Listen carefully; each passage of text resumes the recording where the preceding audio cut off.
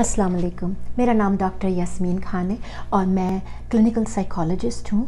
मेरी प्रैक्टिस का नाम है सेल्फ एम्पावरमेंट सेंटर आज मैं आपसे कोरोना वायरस के हवाले से बात करने आई हूँ और मैं बात करूँगी स्ट्रेस यानी टेंशन सहनी दबाव और दूसरी चीज़ एंजाइटी घबरा, यानी कि परेशानी, घबराहट और बेचैनी, इन दोनों में फ़र्क है।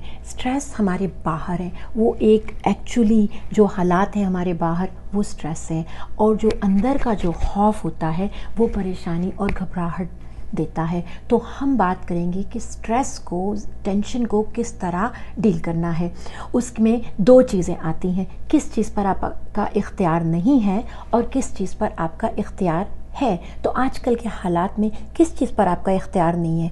आपको ये कोई इख्तियार नहीं है कि कितने लोगों को ये वायरस हो रहा है, कितनी तेज़ी से फैल रहा है, कितने लोग मर रहे हैं। मीडिया का कह रहा है तो इसका हल क्या है? इसका हल सिर्फ़ एक ही है कि हमें कबूल कर लेना है। क्योंकि जब हम कबूल कर लेते हैं कोई चीज़ तो एहतजाज ख़त्म हो जाता है। अवेयरनेस और एक्सेप्टेंस आ जाती है, यानी कबूलियत आ जाती है, पहचान आ जाती है। दूसरी चीज़, किस चीज़ पर आपका इख्तियार है?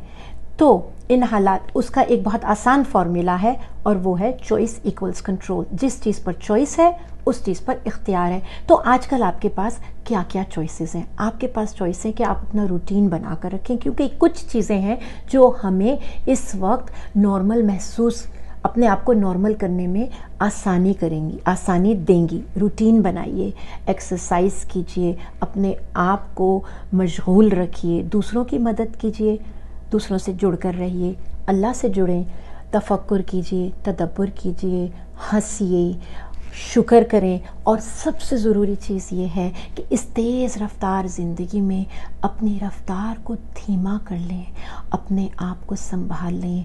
याद रखिए, कोरोना वायरस पर इख्तियार नहीं हमारा, लेकिन हमारे अमल पर तो हमारा इख्तियार है। सुनने का शुक्रिया।